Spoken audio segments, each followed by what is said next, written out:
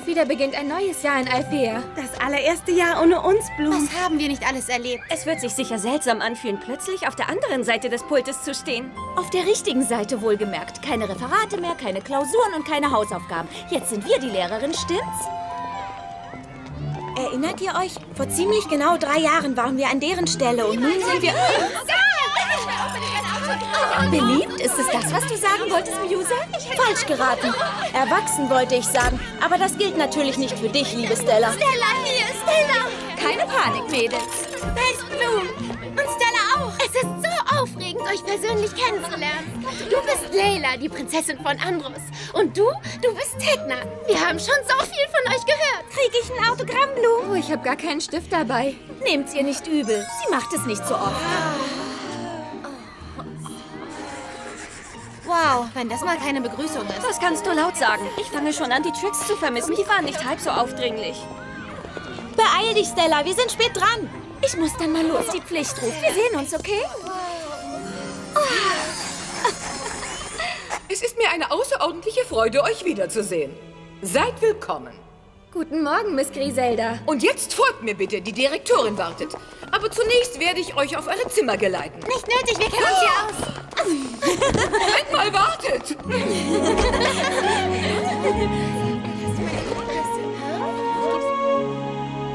Ja, bitte. Wer seid ihr denn? Das ist unser Zimmer.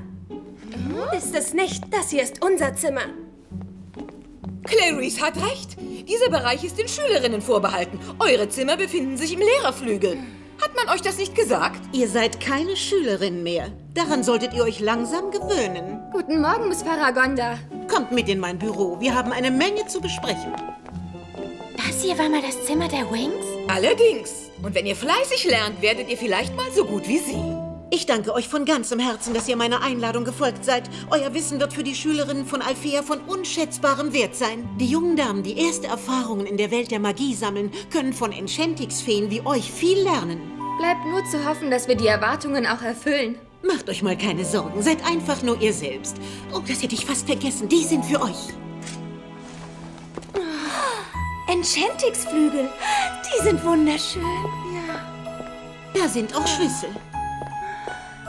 Mit ihnen gelangt man in das Herz unserer Schule.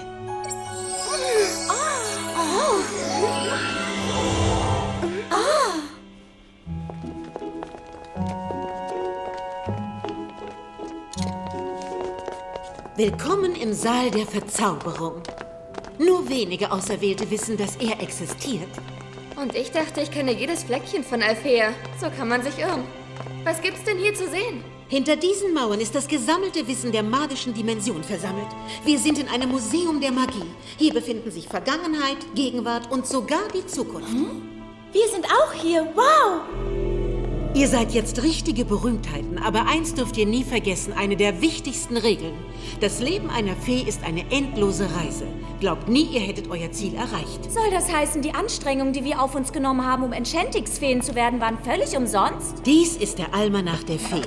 Lest ihn und ihr werdet verstehen, dass jede Verwandlung zu einer Veränderung führt, zu neuen Horizonten. Auch zu neuen Outfits? Das ist ja super spannend. Sieh dir nicht nur die Bilder an, Stella. Ihr alle solltet es lesen, dann erfahrt ihr mehr über die Magiestufen, die eine Fee erreichen kann.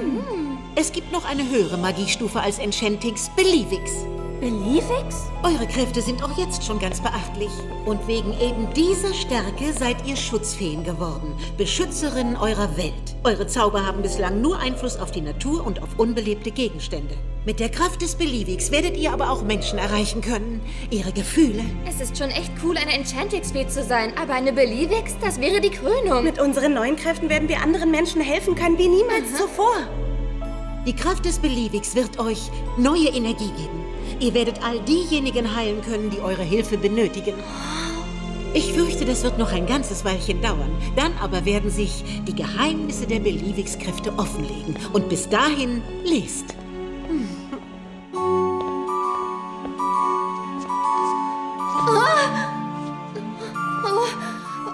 Was? Kein Stress, das sind nur Bilder, sonst nichts. Ja, da hast du vollkommen recht. Das sind nur Bilder von Feinden der magischen Dimension. Die Vorfahren wie Trix, Dakar, Valtor, sämtliche eurer Gegner sind hier versammelt. Es gibt aber auch einige in Vergessenheit geratene Gestalten, denen ihr euch vielleicht irgendwann stellen müsst. Das sind so viele. Das sind die Schatten der Magie. Um sie zu überwinden, muss eine Fee ihr Licht immer heller scheinen lassen. Und was ist hier hinter? Wer sind die denn? Ach, die sind unwichtig. Komm, wir wollen deine Freundinnen nicht warten lassen. Ihr solltet euch noch ein wenig ausruhen, bevor morgen euer Unterricht beginnt. Ich bin ja so gespannt. Seid ihr auch so nervös? Darauf kannst du wetten. Ich glaube, ich habe hier etwas, das euch ein wenig runterbringen wird. Könnt ihr mich hören, Jungs?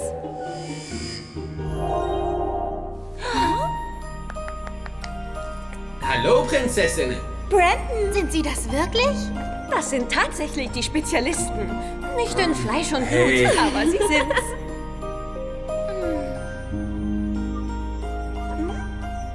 Oh, ach du meine Güte, es tut mir leid, es tut mir leid.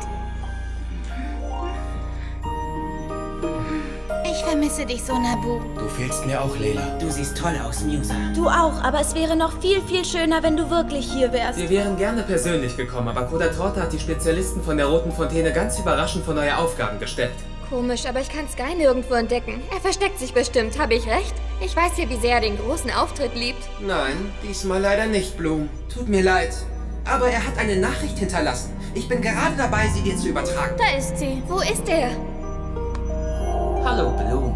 Vergib mir, dass ich nicht da sein kann. Aber weißt du, seit ich König von Iraklion bin, da hat sich mein Leben, unser Leben, ganz schön verändert. Aber ich... Ich weiß, dass du das verstehst. Ich habe so viele neue Pflichten und Aufgaben zu erledigen, Besprechungen und Audienzen. Und Millionen andere Dinge, um deren Willen ich hier bleiben muss. Nur deshalb konnte ich nicht zu den Menschen reisen, den ich so sehr liebe. Viel Glück in deinem neuen Job, Blue. Ich verspreche dir, dass wir uns bald wiedersehen. Die Klasse wartet, meine Damen. Was? Worüber lacht ihr denn so? Ich heiße euch herzlich willkommen. Mein Name ist Blum und heute ist das allererste Mal, dass meine Freundinnen und ich so etwas wie Unterricht geben. Ich glaube, in der dunklen Dimension von Obsidian hatten wir weniger Angst. Wir werden euch heute anschaulich darstellen, wie wunderbar, einmalig und wichtig es ist, dass es Feen gibt. Beginnen wir unseren Kurs, der... der... Hat unser Kurs einen Namen? Wingsologie.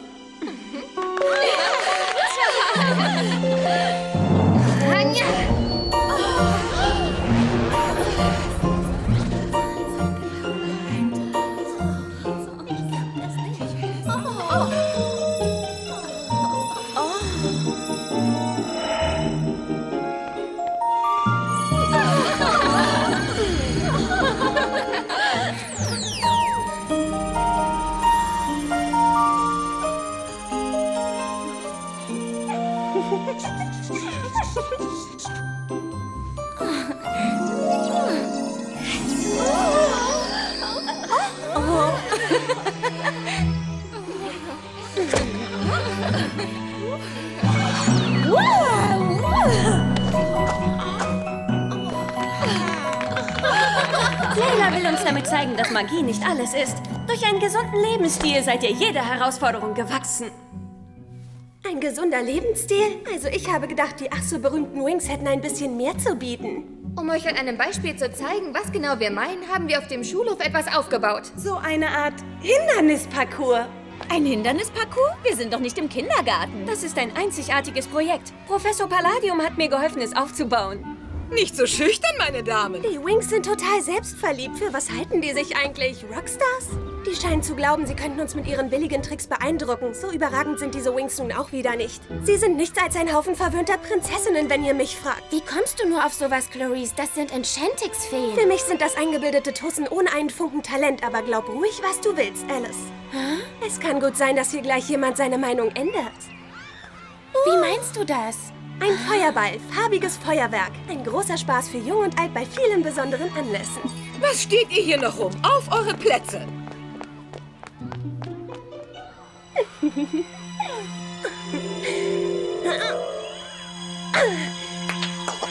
Und das hier ist ein besonderer Anlass. Hey, wo bleibst du denn? Es fängt gleich an. Nicht, dass du noch was verpasst. Das lasse ich mir doch nicht entgehen. Es geht los. Pass auf.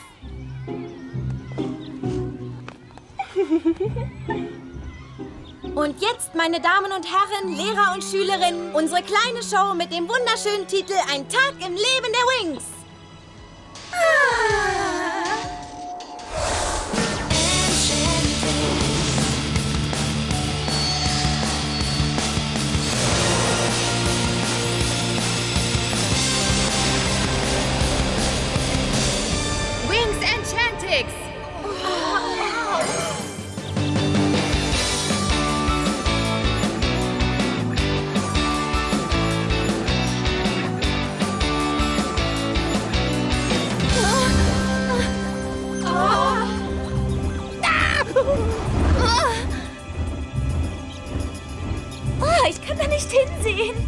Möglicherweise haben wir uns überschätzt. Ich meine. Professor, Sie kennen doch Bloom. Sie bekommt das in den Griff, ganz bestimmt.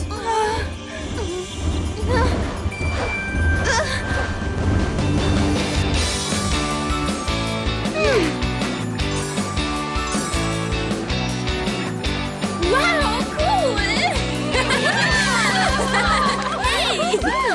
Okay, du bist dran, Layla. Du warst schnell, aber sieh dir das an. Morphic Surfbrett.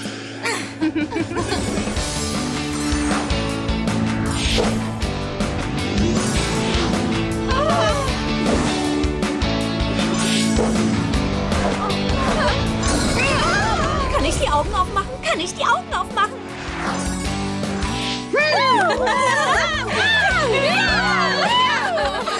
Du bist dran. Versuch mich zu schlagen, okay? Ich versuch's. Obwohl es hier in erster Linie nicht darum geht zu gewinnen, sondern darum, eine gute Figur zu machen.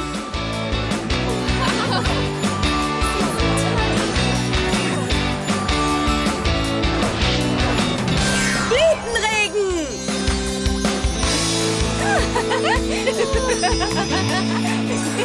Gut, sehr gut sogar. Aber wollen wir doch mal sehen, wie das hier ankommt.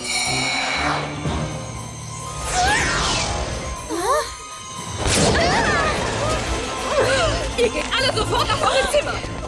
Oh nein! Gigantisches Drachenfeuer, ich befehle dir, komm zu mir! Flora! Wie fühlst du dich? Es geht mir wieder besser, danke. Es war nur dieser komische Rauch und der Schock. Und der blöde Streich dieser Schülerin. Was? Wovon redest du, Musa? Keine Sorge, Flora. Dank Tekna haben wir die Verdächtige geschnappt. Rate mal, wer es ist. Das ist jetzt bestimmt neu für dich, aber die Feuerbälle bestehen zu ca. 75% aus irisierendem Blastophosphat. Ein Pulverchen, das mein Omnidetektor mühelos aufspürt. Und dieses Gerät hat uns zu deinem Rucksack geführt. Dieses Kästchen haben wir da drin gefunden. Du steckst in Schwierigkeiten. Aber ich bin's nicht gewesen. Bitte, Sie müssen mir glauben. Ich bin sehr traurig über das, was passiert ist. Mit diesem Streich hast du deine Mitschülerin in Gefahr gebracht. Ich habe geglaubt, du seist eine gute Fee, die es mal weit bringen würde. Aber da habe ich mich wohl geirrt. Aus diesem Grund wirst du Alfea verlassen, Alice. Du wirst morgen früh dein Zimmer räumen. Nein, bitte nicht. Was machst du denn da, Flora? Wo willst du hin? Ich will mit Alice reden und zwar sofort. Vergiss es. Findest du nicht, dass der Tag schon aufregend genug war? Ich muss einfach wissen, warum sie so etwas getan hat. Hm.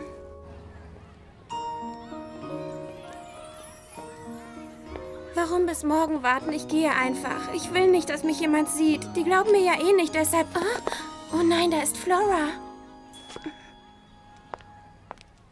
Komisch. Wo ist sie nur hin?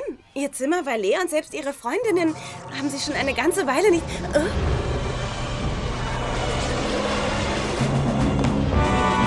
Wer sind die denn?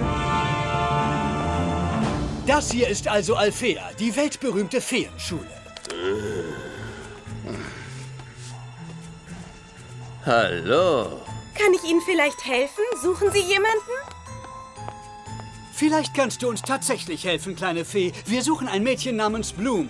Wir sind alte Freunde von ihr. Ich kenne alle Freunde von Bloom, aber euch kenne ich nicht. Ogron hat dich etwas gefragt, also antworte. Na, na, wer wird denn gleich die Geduld verlieren, Gantlos? Sie wird es uns schon verraten. Wo ist Bloom? Das müsst ihr schon selbst herausfinden. Das ist genau das, was ich vorhabe. Gantlos, Tuman, Anagam, teilt euch auf und findet das Mädchen. Mir ist egal, was ihr tun müsst oder wem ihr was tun müsst. Hauptsache, ihr findet sie.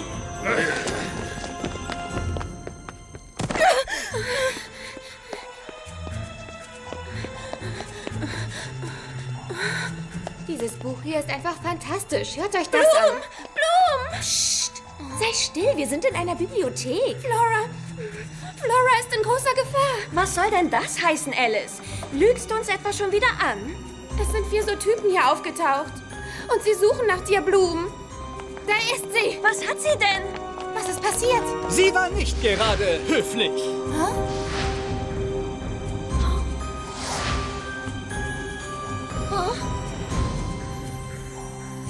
Vielleicht seid ihr etwas hilfsbereiter. Ich suche nach einem Mädchen namens Blue. Ich bin Bloom. Gute Neuigkeiten, Jungs. Wir haben sie endlich gefunden. Wings Enchantix.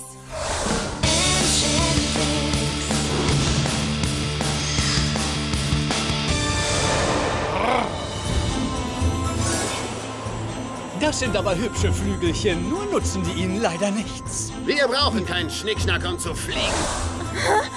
Eure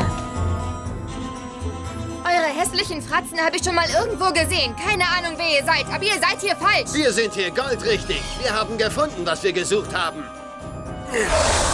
Und das bist du, Blue.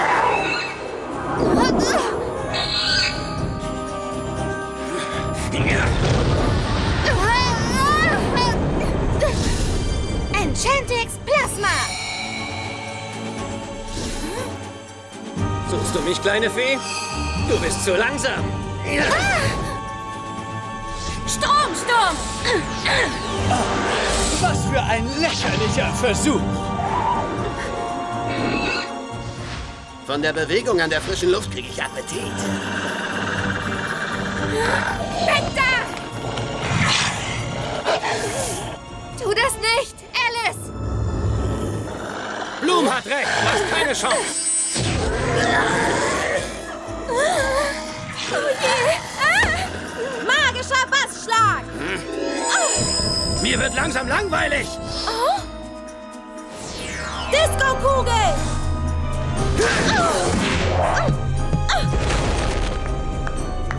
Ihr habt es so gewollt. Drachenenergie.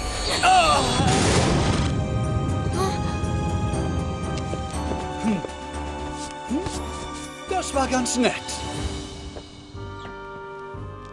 Merlins Part, was ist denn hier für ein Lärm? Alles in Ordnung hier, Langwurzwerg. Leg dich wieder schlafen. Feuerstrahl. Ich habe schlechte Nachrichten für dich, Blum. Die Hexer des Schwarzen Kreises sind immun gegen die Kräfte der Feen. Sonnenenergiestrahl! Pech für euch. Das ist doch unmöglich. Je mehr ihr mich angreift, umso stärker bin ich. Ich absorbiere eure Energie Tropfen für Tropfen. Drachenzorn. Ihr habt keine Chance gegen uns.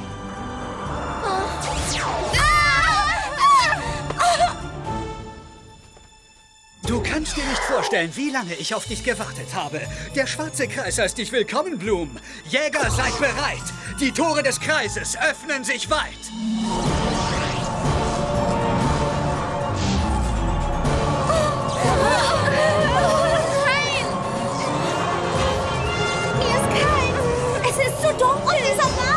Leiste keinen Widerstand, Blum. Erlaube deinem Schicksal in Erfüllung zu gehen.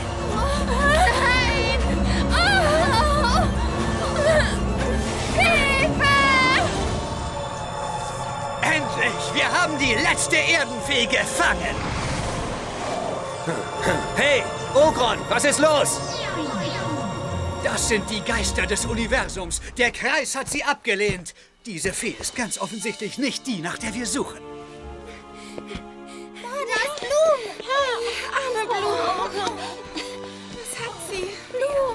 Für uns gibt es hier nichts mehr zu tun. Doch die Jagd geht weiter.